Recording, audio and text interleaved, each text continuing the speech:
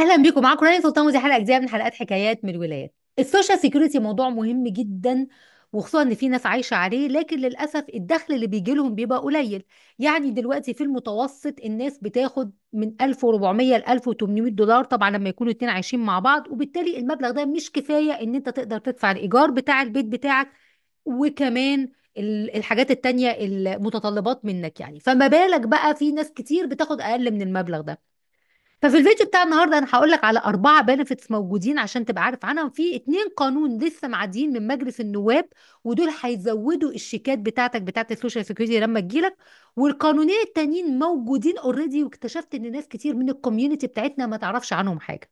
القانونين دول إن لو واحدة آه، زوجها توفى أرملة أو أرمل تقدروا إن أنتوا تاخدوا ال benefits كاملة أو جزء من ال benefits بتاعت هذا الزوج المتوفي حتى بعد وفاته.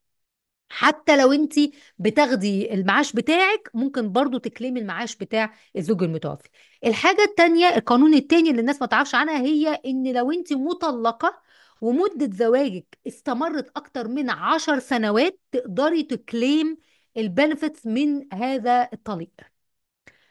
طبعا أو العكس يعني الراجل لو هو مطلق ومراته بتاخد فلوس عالية ممكن يكلم الكلام ده. فالقوانين دي تعالوا مع بعض أقول لكم عليها وده دور القناة إنها تشرح لك إيه ال benefits اللي ممكن تاخدها وتقدر تساعدك إزاي. آه طبعا أنا بقعد أبحث كتير جدا علشان أوصل لهذه المعلومات وعلشان كده آه يوتيوب حط تحت ال- الفيديو الفيديوهات بتاعتي كلمة thanks thanks دي لو أنت دوست عليها هتدفع 2 دولار للقناة فهتساعدني إن أنا أقدر أكمل الفيديوهات ال editing البحث كل ده وقت وكل ده مجهود أنا بعمله. وطبعا لما أنت هتساعد القناه القناة دي هتستمر. عايزاك كمان تعرف إن ال- الفيديوهات دي مش معموله ليك أنت بس لكن تفكر في الناس اللي حواليك. مين صح صديقك أو جارك أو حد معرفتك ممكن الفيديو ده يفيده ويفيد حياته فأنت ممكن تعمله share للفيديوهات دي لإنها معلومات قيمة جدا الناس ما تبقاش عارفة عنها حاجة. تعالوا مع بعض نقرأ من المصدر علشان نشوف وتتابعوا معايا. المصدر الأولاني جايبه لكم من ال CNBC وبيقول إن مجلس النواب آه، وافق على مشروع قانون هيزود الشيكات بتاعه ال social security اللي بتيجي للناس أصحاب المعاشات. فبيقولوا إن ال social security ده عدى بموافقة الحزبين الديمقراطي وال Republicans آه، يوم الثلاث في مجلس النواب ب 327 واحد قالوا عليه. أيوه. دلوقتي هو راح لمجلس الشيوخ المفروض عشان يعدي من مجلس الشيوخ محتاج 60% من الأعضاء يوافقوا عليه. حاليا هم معاهم 62% من الأعضاء موافقين عليه وده معناه إن القانون هيعدي. طيب القانون ده بيعمل إيه؟ القانون ده بيوقف قانونين كانوا موجودين كانوا بيقللوا من الشيكات بتاعة ال social security فهو هيلغي القوانين اللي كانت بتقلل من الشيكات وبالتالي هتلاقي الشيك بتاعك فيه زيادة. فأول قانون بيلغيه هو ال Windfall Elimination Provision ال WEP فالمفروض القانون ده هيزود اتنين يعني اللي هيستفيد منه اتنين مليون شخص في الحكومة الأمريكية. اللي بيحصل إن ده معمول للناس اللي كانت بتشتغل في الحكومة في الحكومة الفيدرالية أو في الحكومة المحلية بتاعة الولاية بتاعتك وما كانوش بيدفعوا ضرائب لل social security. فلما جم بقى يطلعوا على المعاش المعاشات قالت لهم لا والله أنتوا ما كنتوش تدفعوا ضرائب وبالتالي هنديك فلوس قد كده المعاشات بتاعتك هتقل. فالمشروع القانون ده بيقول لهم يا جماعة هم ما لهمش ذنب هم أنت جيت قلت لهم ما تدفعوش ضرائب فما دفعوش فجيت تيجي بعد كده تعاقبهم على حاجة. هم عملوها لانهم ماشيين على النظام اللي انت حطيته فما ينفعش. وبالتالي هيلغوا القانون ده. القانون ده كان موجود من ديسمبر 2023 فهيتلغي. وطبعا في 2 مليون شخص تقريبا هيستفيدوا منه وهيلاقوا فيه زيادة في الشيكات بتاعتهم. القانون الثاني اللي اسمه Government Pension Offset ال GPO ده اللي كان بيقلل من ال benefits اللي بتاخدها الأزواج آه، أو ال ال الأرامل. فكانوا بيجوا آه، برضو تقريبا 3 أرباع مليون واحد هيستفيدوا من هذا القانون لما ي- يقف يعني. فكان ده بيقلل من ال income من الدخل اللي داخل للناس المتزوجة من آه، رجل مثلا شرطة كانوا رجال الشرطة أو مدرسين أو ال firefighters رجال الإطفاء أو ال public servants اللي بيشتغلوا في ال- ال- ال- الحكومة يعني. آه، كانوا ال- الأزواج بتوعهم بياخدوا benefits قليلة. فقالوا ما ينفعش الكلام ده لازم تعامل الجميع زي بعض وبالتالي القانون ده هيقف وهتلاقوا إن الشيكات اللي جاية لكم هتلاقوا فيها زيادة عن الكلام ده. الناس اللي مؤيدة للقانون ده بيقولوا إن دي خطوة في الطريق السليم والناس اللي معارضة ليها بيقولوا طبعا ده هيزود من العجز بتاع أنتوا عارفين ال trust fund بتاع ال social security الفلوس اللي فيه قليلة. فبيقولوا ده هيكلف الدولة 196 بليون دولار على مدى العشر سنين الجايين وده هي- هيخلي ال fund يقل.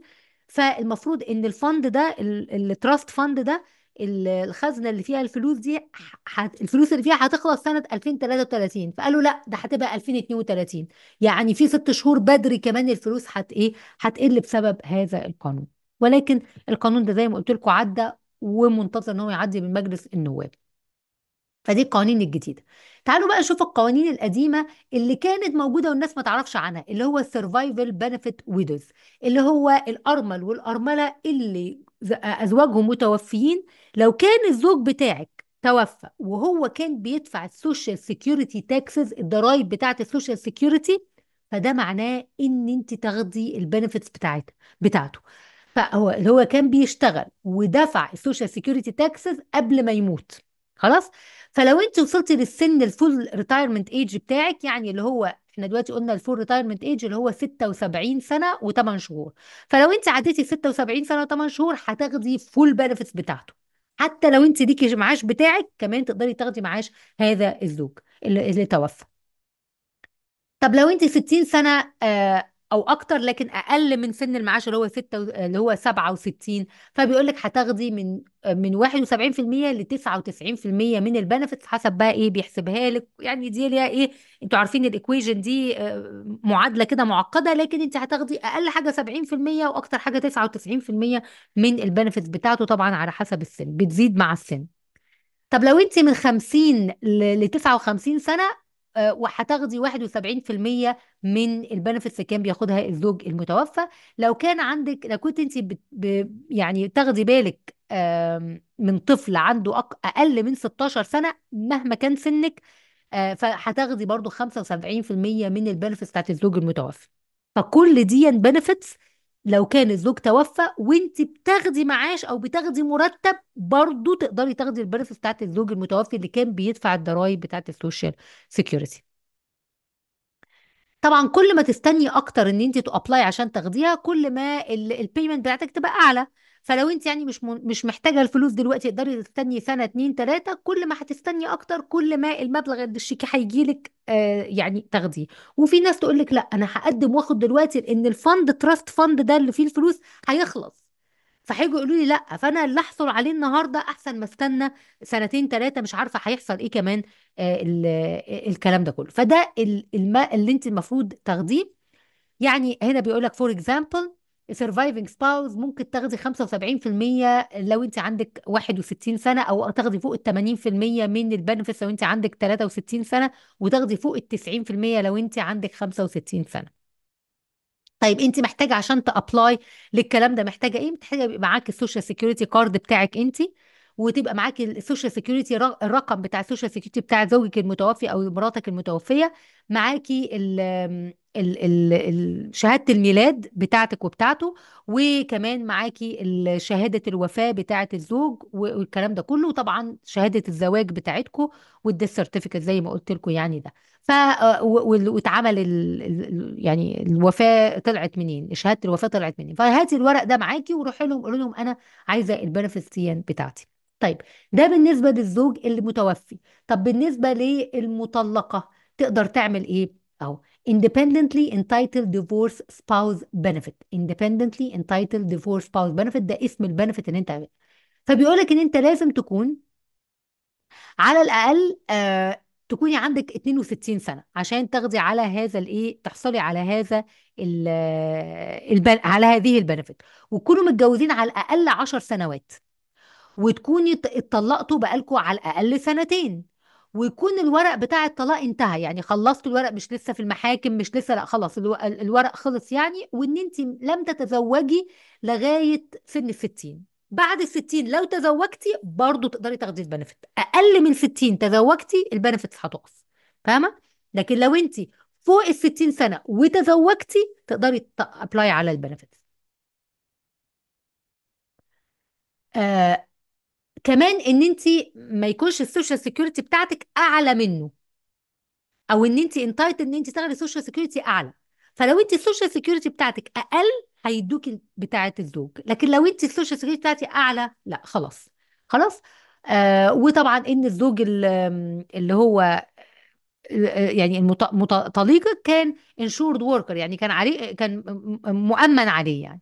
فده كلها ال- الكلام ده كله. فلو انت كنت مطلقة أكتر من سنتين تقدري إن انت تقولي إن انت تاخدي ال benefits دي من الزوج حتى لو الزوج ما ما ما قدمش هو على ال benefits يعني انت مش لازم تستنيه لما هو يقدم على ال benefits عشان تاخدي لأ. انت طالما وصلتي للسن ده 62 سنة وانت لم تتزوجي لغاية سن ال 60 وهو وزواجكم استمر 10 سنوات وانت بقالك سنتين مطلقة تقدري تروحي تاخدي ال benefits حتى لو هو ما قدمش على ال benefits مالكيش علاقة بيه خالص. انت تستحقي ال benefits دي. يعني فدول أربع قوانين موجودين هيزودوا الشيكات بتاعه ال social security مهم قوي إن أنتوا تبقوا عارفين.